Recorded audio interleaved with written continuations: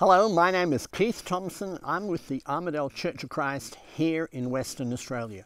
We're continuing on our study of the things that are difficult to understand. The Bible tells us people take those things that are difficult and distort them as they do the rest of the scriptures.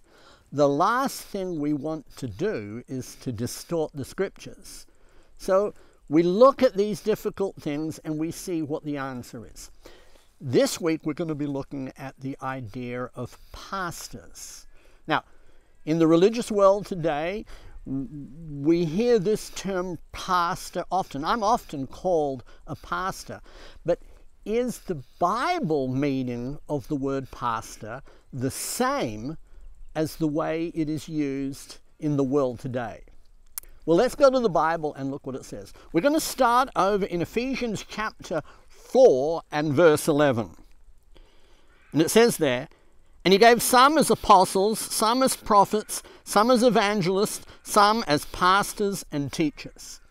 Here, the Apostle Paul is giving us the offices in the church, and they include uh, apostles, uh, prophets, evangelists, pastors, and teachers. Now, it's that pastor that we're interested in today. Now, the translation of that word pastor is of a shepherd. In fact, in our English translations, Ephesians 4 and verse 11 is the only place that we have it translated as pastor. Now, you would imagine that as we see in the world today, that the word pastor would be practically on every page of the New Testament.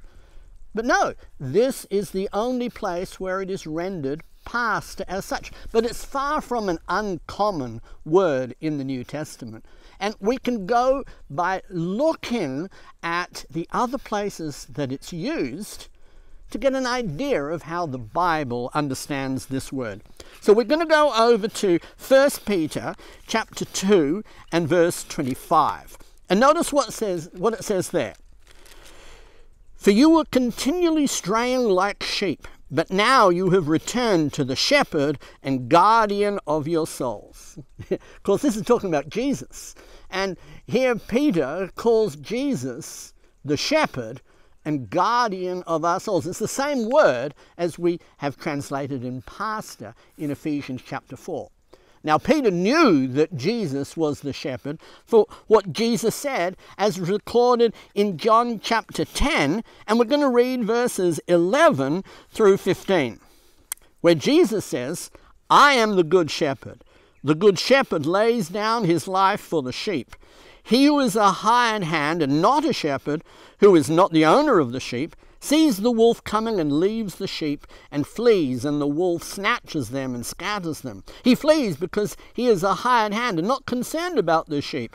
I am the good shepherd, and I know my own, and my own know me. Even as the Father knows me, I know the Father, and I lay down my life for the sheep. Now, I'm sure you're familiar with this passage. Jesus is the good shepherd. This is the same word that we're talking about. This word that can be translated pastor. Jesus is the good shepherd.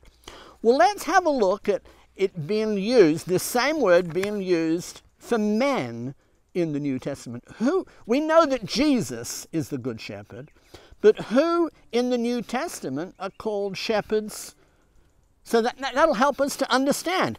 So we go over to the book of Acts in Acts chapter 20. And notice what we read in Acts chapter 20, verse 28. Be on guard for yourselves and all the flock among which the Holy Spirit made you overseers to shepherd the church of God, which he poured out with his own blood. Ah, now this is a fascinating verse here, because here we have men told that they are to shepherd, that they are to pastor the church of God. But who is it that Paul's talking about? Now, one would imagine the way that it's commonly used today, he's talking to the preachers, to the ministers, uh, the evangelists, that they're told to shepherd the church of God. But that's not what we read. In fact, Let's go and have a look at the context. This is Paul. he's traveling to, to Jerusalem in what becomes his last time there. He's arrested and taken off to Rome there. But he's traveling to Jerusalem and he's in a hurry. And he doesn't want to stop in the in Ephesus to speak to the to, to the people there. So he calls for the elders to meet him. So we see in Acts chapter 20 and verse 17. From Miletus he sent to Ephesus and called to him the elders of the church. When we read in verse 28, Be on guard for yourself and for all the flock among which the Holy Spirit made you overseers to shepherd the church of God, which he purchased with his own blood. Clearly, the context is telling us that the ones who have to shepherd, the ones who have to pastor, are indeed the elders. And that's, that's continuous throughout the New Testament. Now, the Bible teaches us that the pastors in the church are the elders. It's part of their job to feed and guard the flock the preachers like myself, the evangelists, the ministers. They're never called pastors. This is the modern, modern man-made use of the term. So we need not get confused by this. People may misuse the term, but if we're going to follow the Bible, and the Bible only, never adding to it or taking away from it, we will use Bible terms for Bible things. So, an elder, well, he is the pastor. There are three terms used to describe elders elders, overseers, and shepherds or pastors. And we can see them in this passage. A preacher or evangelist is not the pastor, it is the elder who is the pastor. So I hope that helps. If you have any questions about this subject, you know, we always welcome your comments and your questions. Please put them down in the comment section below. If you've enjoyed this video, why don't you subscribe and, and like it? And come back and see us next time as we continue to study through the Bible. Thank you and goodbye.